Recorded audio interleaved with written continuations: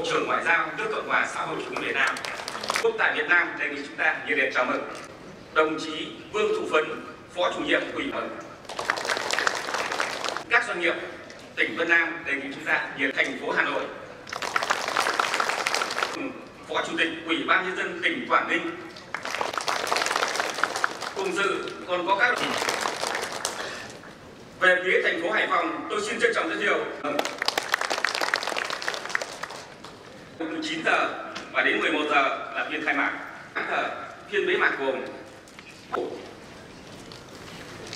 sau đây Trung Quốc tại Việt Nam các đồng chí lãnh đạo các bộ ban kết nối vùng. Trong hai năm gần đây biển vượt biển với chiều dài 16 km và dài nhất đầu toàn quốc kim ngạch xuất khẩu tăng 21,3 lần. Và năm 2017 giáo dục y tế du lịch cảm ơn các địa phương của hai nước tạo ra sự phát triển hài hòa